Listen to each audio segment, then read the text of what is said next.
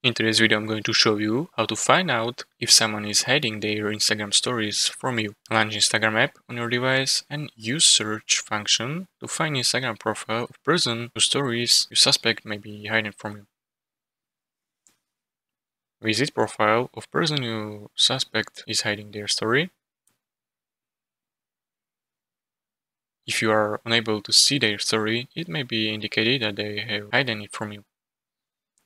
If you want to confirm whether the person is hiding their story from you, consider using secondary Instagram account.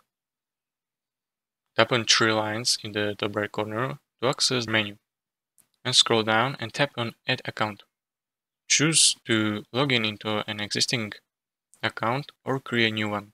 After adding secondary account, switch to it, and as login into secondary account, search for same Instagram profile. Check if you can see their story from secondary account. If you can see story from secondary account, but not from the primary account, it indicates that person has likely hidden their story from your primary account.